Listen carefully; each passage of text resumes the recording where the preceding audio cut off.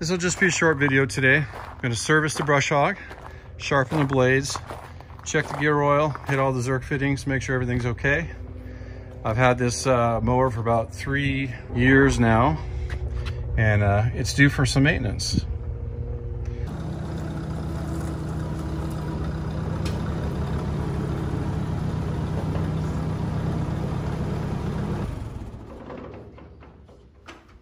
After we moved here three years ago, I found a lot of iron and rock and curbing and all kinds of stuff out in the fields.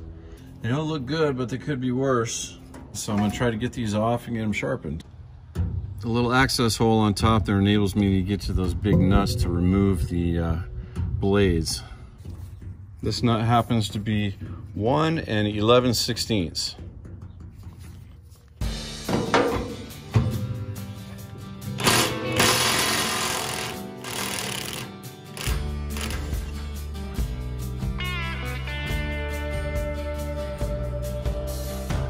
Size of that washer. Okay, the pin should just drop out now onto the ground. Like that.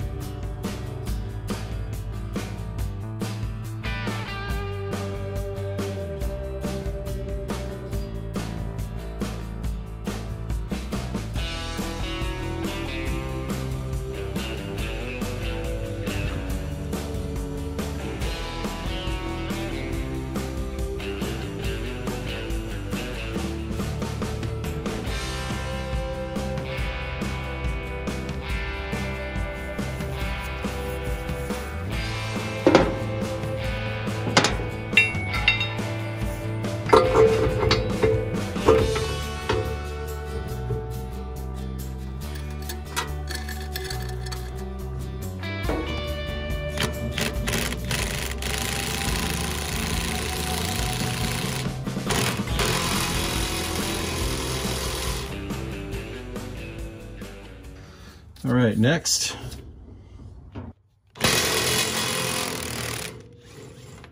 This one's definitely the worst of the two.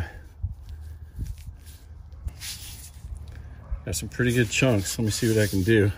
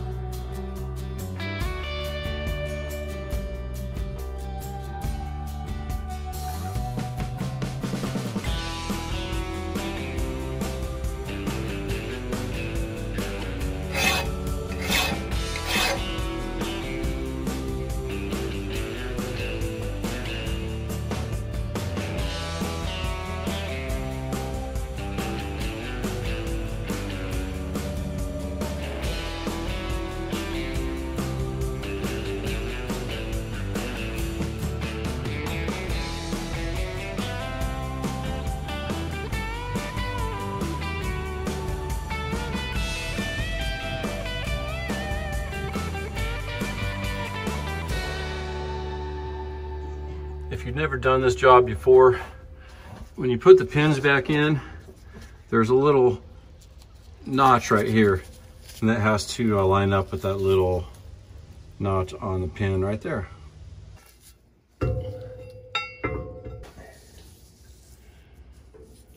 Kind of hangs there by itself if you're careful. Gently hold the end and it should stay on until you get the nut and washer on.